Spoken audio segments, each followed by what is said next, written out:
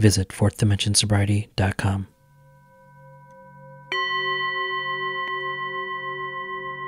On awakening, let us think about the 24 hours ahead. We consider our plans for the day. Before we begin, we ask God to direct our thinking, especially asking that it be divorced from self pity, dishonest, or self seeking motives. Under these conditions, we can employ our mental faculties with assurance, for after all, God gave us brains to use. Our thought life will be placed on a much higher plane when our thinking is cleared of wrong motives. In thinking about our day, we may face indecision. We may not be able to determine which course to take. Here we ask God for inspiration, in intuitive thought or decision. We relax and take it easy. We don't struggle. We're often surprised how the right answers come after we tried this for a while. What used to be a hunch or an occasional inspiration gradually becomes a working part of the mind.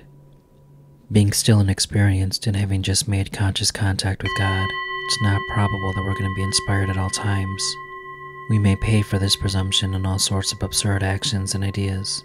Nevertheless, we find that our thinking will, as time passes, be more and more on the plane of inspiration, and we come to rely upon it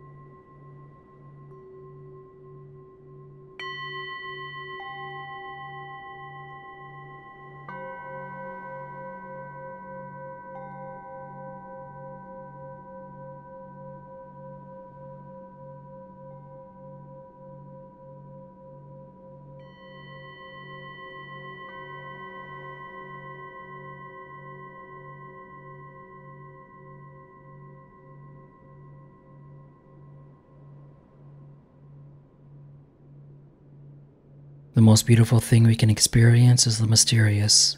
It is the source of all true art and science.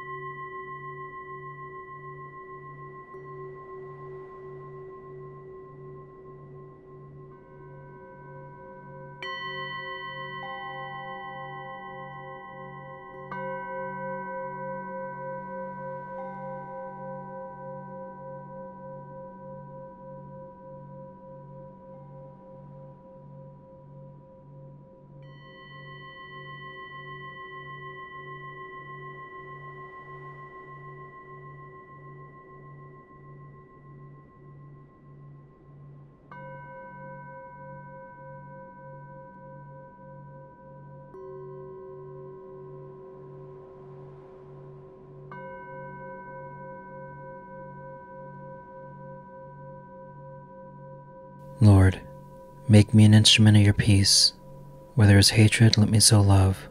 Where there is injury, pardon. Where there is doubt, faith. Where there is despair, hope. Where there is darkness, light. Where there is sadness, joy.